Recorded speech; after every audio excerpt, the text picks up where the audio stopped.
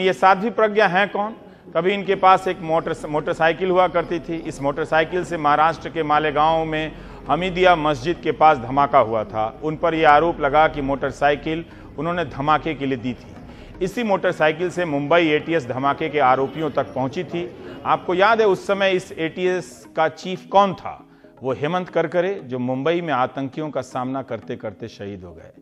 सबने उनकी बहादुरी का लोहा माना था। लेकिन जब वो बता रहे थे कि मालेगांव के आतंकियों का रंग कुछ और है तो वो हिंदूवादी संगठनों की निगाह में विलन हो गए।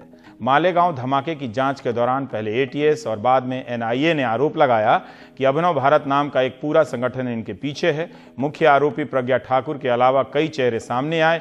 इनमें भारतीय सेना के कर्नल श्रीकांत पुरोहित का नाम भी आया। एक रिटायर्ड मेजर रमेश उपाध्याय का नाम भी। 2011 में यह मामला एटीएस से एनआईए के हाथ में चला गया। धीरे धीरे एनआईए को अपनी जाँच में कई और चीज़ें मिली। एजेंसी ने यह आरोप लगाया कि उस आसपास हुए कई और धमाकों में इन लोगों के हाथ हो सकते हैं।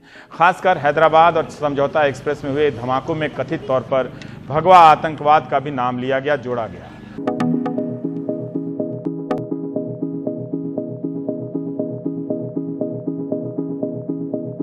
मगर ये कहानी 2014 के बाद बदल जाती है।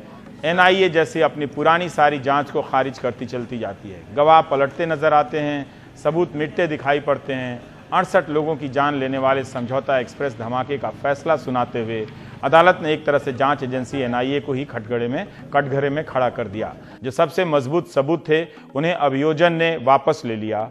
कई गवाह अपनी गवाही से पलट गए, कई गवाहों का परीक्षण ही नहीं हुआ। पुरानी दिल्ली रेलवे स्टेशन के सीसीटीवी फुटेज पेश नहीं किए गए, मोबाइल फ़ोन के कॉल डिटेल तक पेश नहीं किए गए, लेकिन जाँच की इस हालत पर अफसोस करने की जगह देश के प्रधानमंत्री और वित्त मंत्री भगवा आतंकवाद की थ्योरी को लेकर अपना सवाल खड़े करने लगे।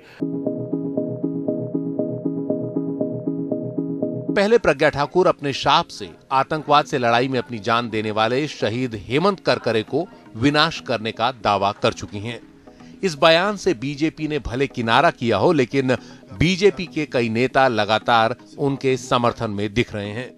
जिस जांबाज अफसर को वो कटघरे में खड़ा कर रही हैं उसने धार्मिक पहचानों से आगे जाकर सिर्फ़ गुनहगारों की शिनाख्त की है। हमें तय करना होगा कि हमें हेमंत करकरे जैसा जांबाज अफसर चाहिए या प्रज्ञा ठाकुर जैसी साध्वी।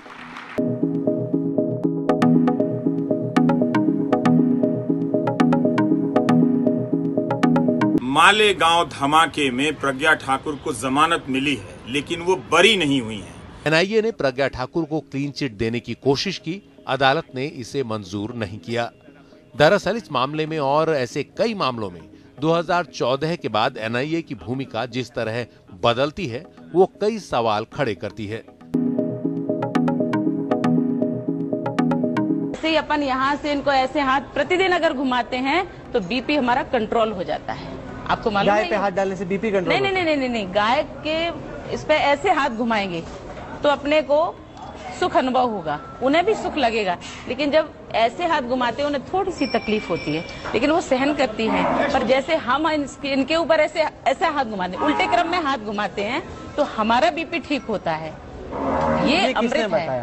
ये साइंटिफिक है। साइंटिफिक है कि हाँ, गाय पे ऐसे हाथ करने से बिल्कुल उल्टी तरफ़ ऐसे हाथ घुमाएँगे तो बीपी अपना ठीक हो जाता है। गौमूत्र जो है मैं कैंसर की पेशेंट मैंने गौमूत्र से और पंचगव्य से बनी औषधियों से अपने को ठीक किया अपना कैंसर ठीक किया है। आप कह रही हैं कि गौमूत्र खाने से आपका कैंसर चला गया। हाँ। डॉक्टर लोग कहेंगे की ये कैसी बातें कर रही है सारी